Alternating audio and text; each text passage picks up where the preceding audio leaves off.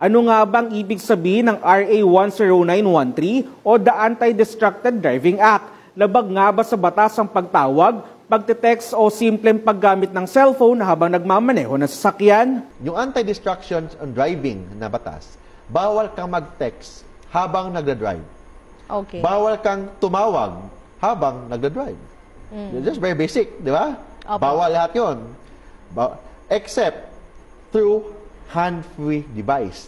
Ano yung hand-free device? Bluetooth, Wi-Fi, di ba? May, may nakalagay Walang dyan. anything, Oh, oo. Yung mga high-tech na sasakyan, yung cellphone mo, naka, naka-connect na sa sasakyan mo. Na magsasalita ka na lang. Pag may tumatawag, may pindutin ka lang doon, ang salita ka na. Di ba? May mga hand-free device. Mm-hmm. But may mga exception. You can still use your phone, you can still text, you can still call, only on emergency cases.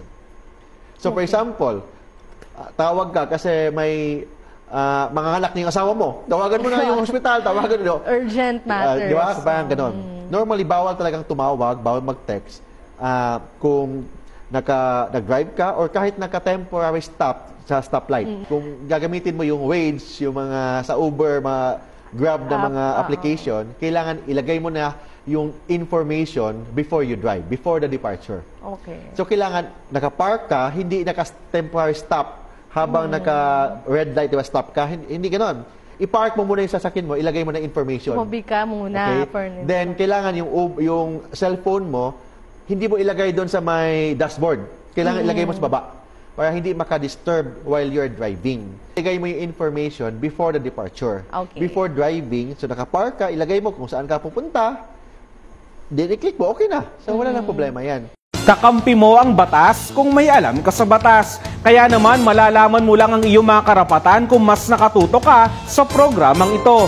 Dahil dito, tatalakayin ng may lalim ang mga batas na pwede mong magamit sa araw-araw na buhay o kung ikaw ay malalagay sa isang sitwasyon na gagamitan na ng batas. At mas papalawakin pa ang alam mo sa usaping legal. Ako po si Christian Manyo. Samahan niyo ako mula lunes hanggang biyernes sa DCRH Television at DCRH Digital Platforms, Facebook at YouTube live channel kasama na dyan ang DCRHnews.com. Legal Minds sa DZRH News Television, Monday to Friday, 1 p.m. Salamat sa panunood sa video na ito. Mag-comment para alam namin ang opinion mo. I-like at i-share din ang video na ito. Mas marami ang makakapanood, mas maraming matutulungan.